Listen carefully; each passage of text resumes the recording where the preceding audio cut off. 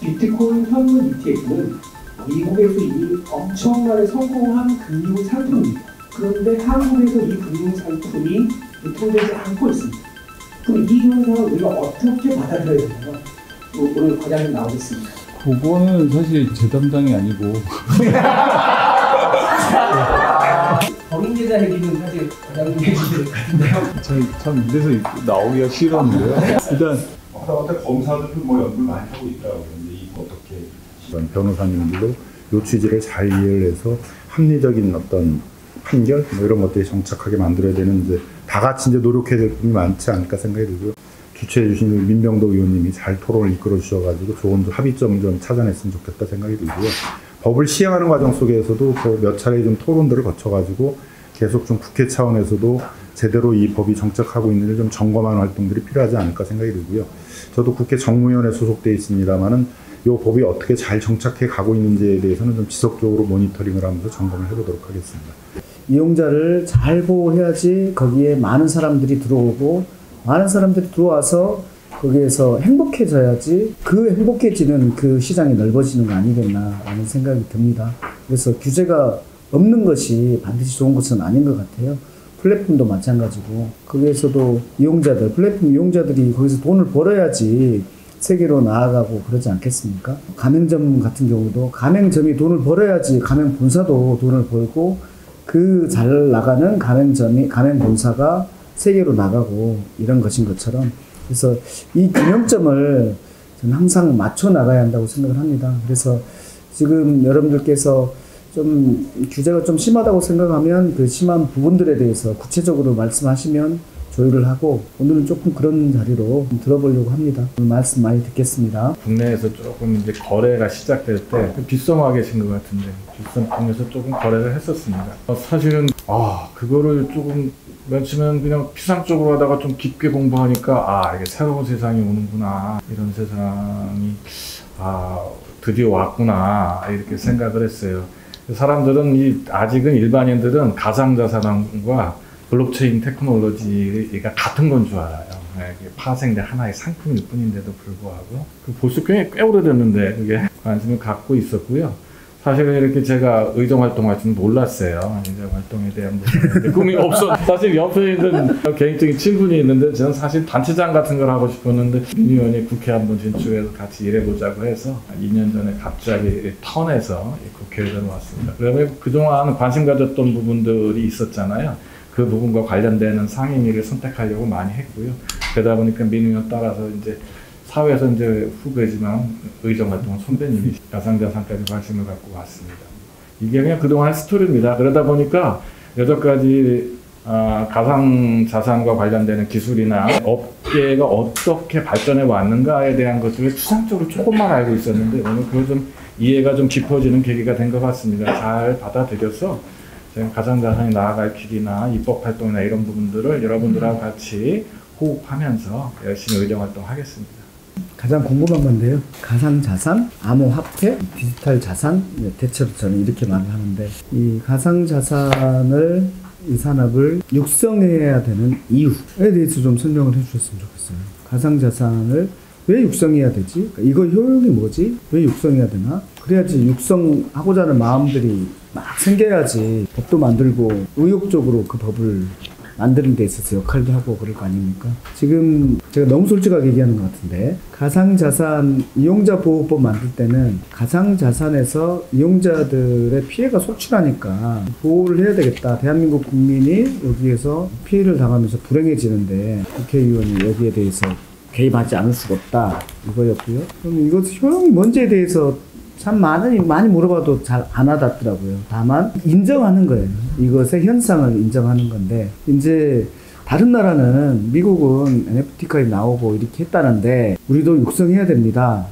라고 해서 그 가상 자산을 육성해야 되는 이유, 이거의 효용 이런 부분들이 조금 더 우리가 오늘 이 자리에서 명확해진다면 좀 더 의욕을 가지고 해볼 수 있겠다. 그리고 여기에 대해서 저 정도까지 온 국회의원도 별로 없습니다.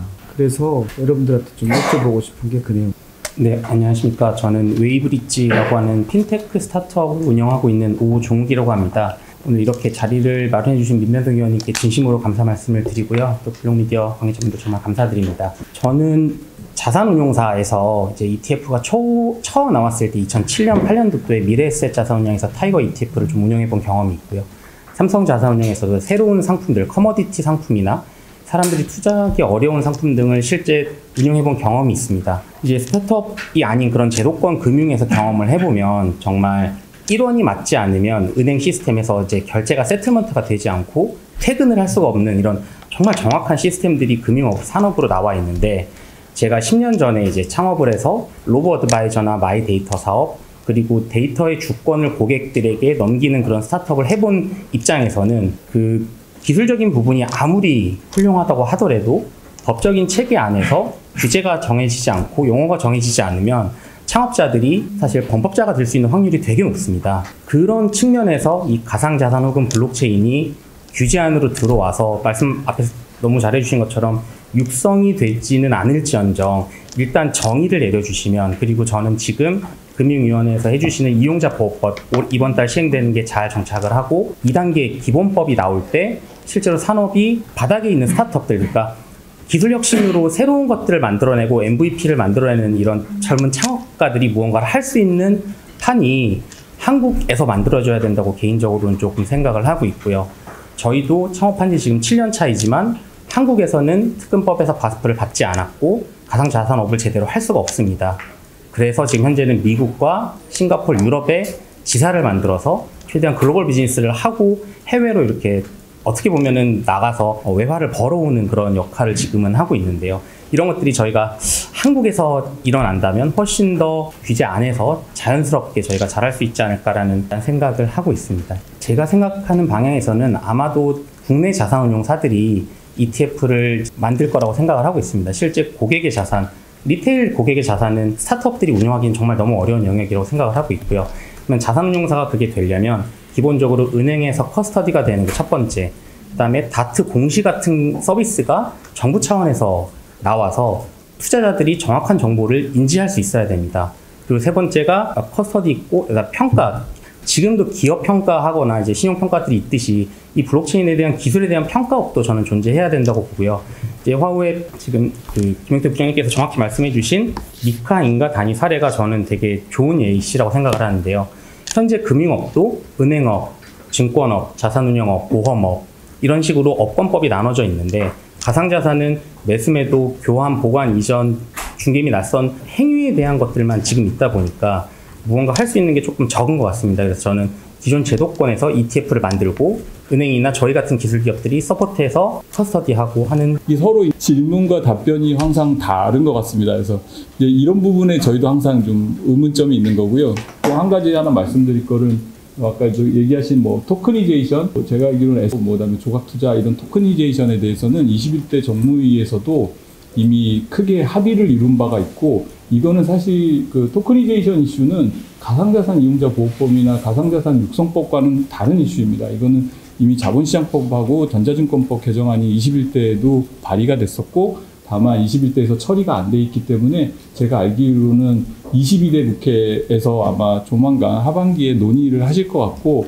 이게 이제 법안이 처리가 되면 그런 뭐 조각투자나 이런 증권의 토커니제이션은 뭐 저희 요 논의 주제는 좀 아니라고 생각하고 국회에서도 큰 이견이 없고 처리를 해주실 거로 저는 생각하고 예, 있습니다. 제가 잠깐 끼어들겠습니다. 예, 제가 아주 직접적으로 여쭤볼게요.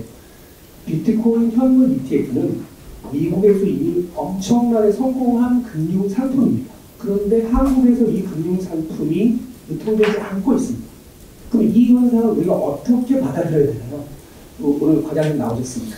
그거는 사실 제 담당이 아니고 선물 ETF는 이제 자본시장국에서 그건 당연히 다시 말씀드리겠는데 선물 ETF 같은 경우에는 ETF의 대상 자산을 자본시장법에 기율을 하고 있기 때문에 다시 한번 말씀드리지만 이 가상자산 이용자 보호법과는 좀 맥을 좀 달리하는 그런 문제라고 다시 한번 말씀드리겠습니다. 그러면 순서상 우리 소비자 아, 쪽 문제를 여쭤봐야 돼서 박 팀장님의 소감. 수많은 종류의 가상자산 외에 무엇이 우리에게 남았는가라고 생각을 해본다면 거기에 대해서는 좀 의문을 가질 수밖에 없는 거고. 그런데 어쨌든 이게 현상으로서 가상자산 시장이 존재하는 거고 또 상당수의 많은 그 젊은 그 층에서 이 가상자산 시장을 통해서 어떤 인생 역전을 꿈꾸는 이 상황 속에서 어쨌든 이게 지금 규제 공백으로 놓여 있기 때문에 그 공- 규제 공백을 이용하는 사람들이 분명히 있을 거고 있을 수 있는 부분이어서 거기에 대한 규제 자체가 저희는 필요하다는 입장이고 특히 이제 이 이용자 보호법이 이제 7월 달부터 시행이 되지만 입법 논의가 진행될 당시에 2022년에 있었던 일들이 지금 도, 이제 돌이켜 생각해 보면 테라루나 사태가 있었고 또 미국 FTX 거래소 파산 사태가 있어가지고 굉장히 좀 파급이 있었습니다. 그때 당시 정권 교체기도 했고 그래서 저희가 판단하기에는 이 법 자체가 굉장히 좀 시급하게 마련이 됐구나라는 걸 좀 느끼는 가운데서 아 근데 이 법으로 정말 이 법이 입법 목적에서 말하고 있듯이 이용자 권익을 보호할 수 있나? 또 불공정 거래 행위를 정말 규제할 수 있나?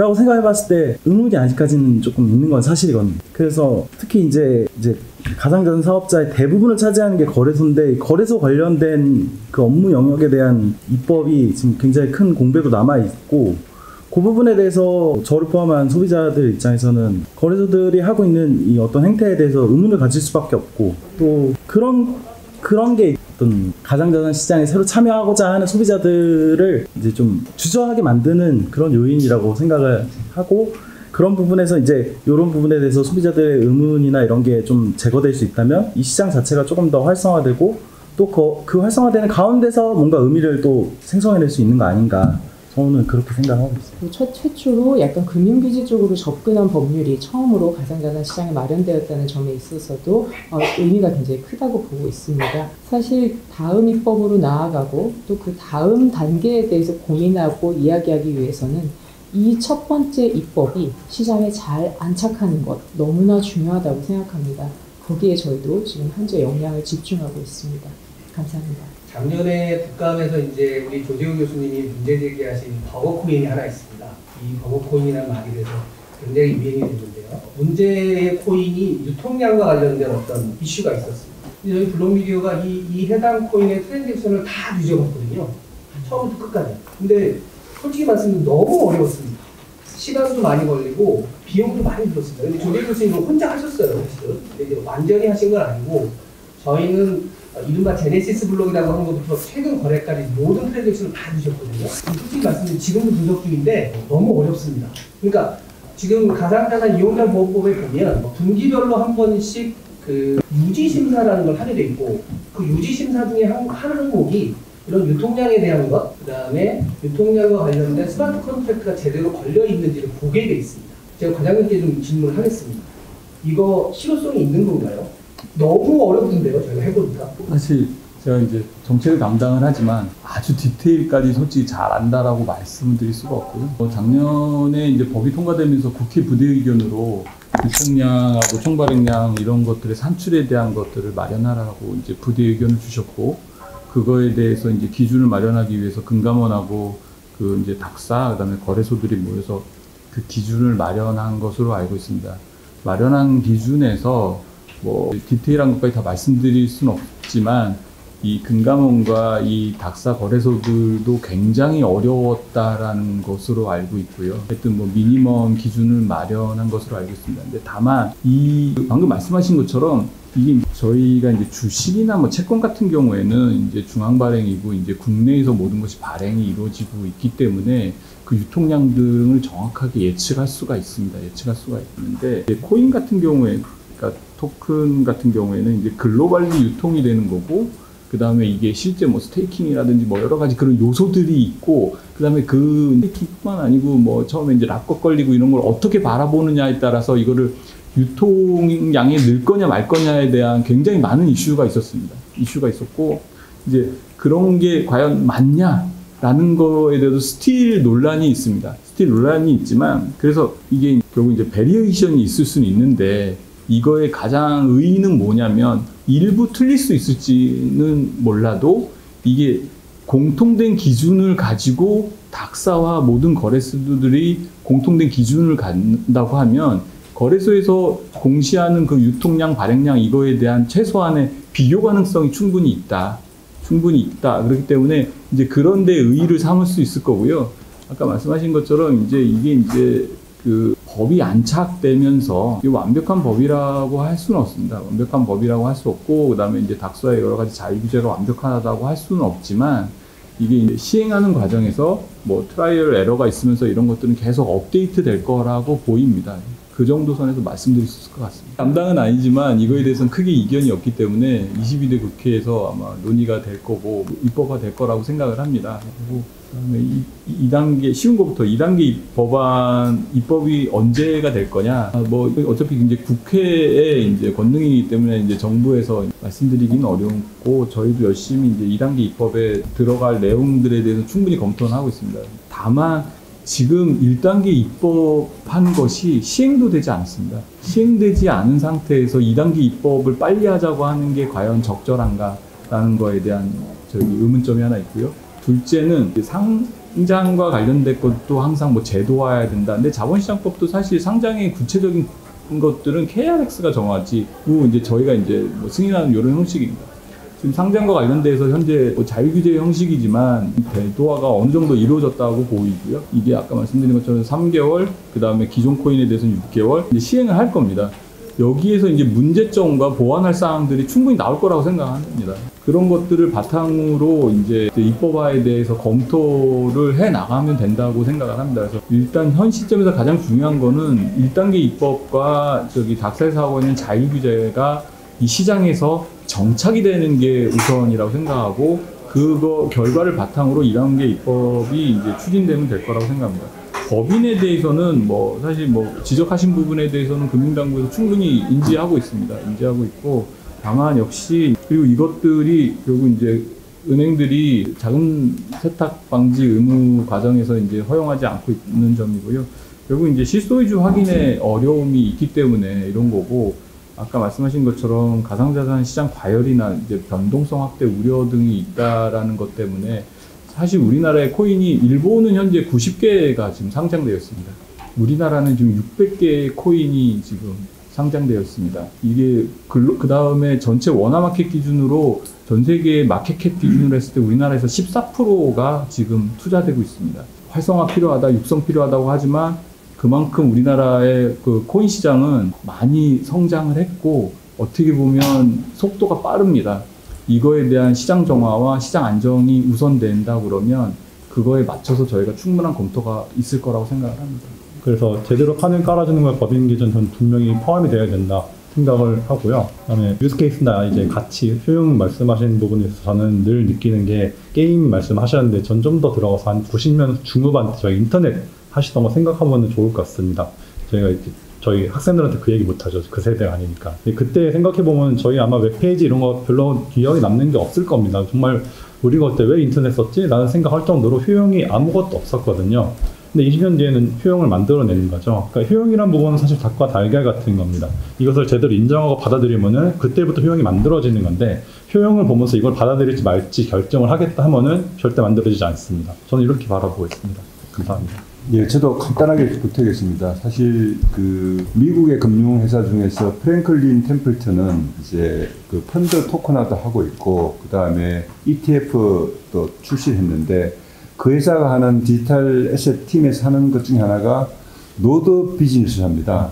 그러니까 한 열 몇 개에 대한 블록체인에 들어가서 실제 노드를 해봅니다. 그래서 기술적으로도 습득하고 자기 비즈니스하고 돈도 버는 건데 그거에 비하면 우리 금융회사는 정말 뭐 노드 비즈니스가 아니라 근처에도 못 가게 돼 있으니까 어떻게 보면은 기울어진 운동장이죠. 기업 입장에서 보면은 금융회사 입장에서는 그리고 우리의 기업의 많은 해외 자회사들이 어떤 어떤 이유로 자기 정당하게 사업 활동을 위해서 토큰을 받지 않습니까? 그럼 그 토큰을 국내에 모회사로 가져올 방법이 없고 청산을 하더라도 가져올 방법이 없습니다. 그런 일들을 저희가 또 자문도 많이 하게 돼서 또 답답한데 기업들이 정당한 활동을 해서 지금 생태계에서는 의원님 말씀하신 대로 근본 질문은 또 별도로 하더라도 수많은 정당한 활동을 통해서 취득할 기회는 많은데 우리 국내에서 가져올 방법도 처분할 방법도 없다는 건 굉장한 언밸런스이자 어떻게 보면 기업 활동, 경쟁하는 기업 활동인 글로벌리 보면은 손이 채 하는 그런 느낌이 될 수밖에 없는 그런 상황을 말씀드리고 싶습니다. 자산과 관련되는 부분에 대한 거래가 일어나고 금전적인 게 오가거든요. 여기에 국가의 권력이 개입하지 않으면 상당히 심각한 사회적 병리 현상이나 문제가 나타날 수 있기 때문에 시작된 거거든요. 이것을 좀 기준점으로 해서 서로 공유하고 문제의식을 공유해서 대책을 만들어 나가지 않으면 안 될 것 같습니다. 아, 이 부분에 대해서 지금 일단은 관계자들만 계시니까 거래 부분에 대한 부분과 이걸 비즈니스 모델화하고 그걸 산업으로 만들어 나가는 것들을 굉장히 중점적으로 보지만 입법 활동을 하거나 국가기관 쪽에서 봤을 때는 근원적인 것 같이 같이 고민을 하는 이런 입장이거든요. 근데 저는 사실은 일단 국민들이 거래를 하기 시작했고 세계의 마켓이 형성이 돼 있다면 저는 육성하고 이러한 산업 구조를 먼저 우리 국가가 선도해 나가는 것이 좋겠다. 그런 것이 새로운 산업 구조이 예, 형성이 되는 거고 부가가치 창출에도 저는 분명히 긍정적인 시그널이다라고 생각을 하는 사람입니다. 오늘 말씀 잘 들었고요. 저는 첫 대면인데 앞으로 가상자산과 관련되는 부분에서 저는 얼굴을 자주 볼 것 같습니다. 여러분들 감사합니다. 이양- 이강일 의원님 마지막 말씀이 오늘 이 토론의 엄청난 성과인 것 같습니다. 지금까지는 거의 저 혼자 그냥 하고 있었는데 이강일 의원님께서 적극 참여하신다니까 큰 성과인 것 같습니다. 기본적으로 제가 어, 오늘 토론회를 통해서 많이 배웠습니다. 또 생각이 좀 깊어졌고 그리고 효용과 관련해서도 조금 더 느낌들이 더 많이 옵니다. 그래서 그러니까 토크나를 통해서 유동성이 커지는데 우리에게 재생에너지 시장에 대한 많은 것들이 있는데 그것들을 그 이익들을 기업에게만 다 남길 것이냐 아니면은 바람과 햇빛이라는 모두의 것을 모두에게 나눠줘야 되는 거 아니냐 이런 고민들이 있는데 그 방법과 관련해서 좀 차관이 좀 돼서 조금 더 논의를 하겠습니다만은 기본적으로 많이 배웠다. 이 효용이 이렇게 저렇게 있을 수 있겠다. 라는 걸 좀 깨달았다는 말씀을 드리고요. 그 뭐 이게 넘는 것들은 빨리빨리 처리해서 여러분들 사업하시는데 불편함은 없게 하겠다는 말씀을 드립니다.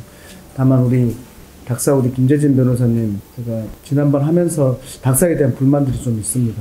조금 더 어, 자율적 규제, 자율적 규제 하지만 이제 거기에서 발생하는 문제들에 대해서 조금 더 철저히 해주셨으면 하는 바람들이 있습니다. 네, 오늘 고생하셨습니다. 네.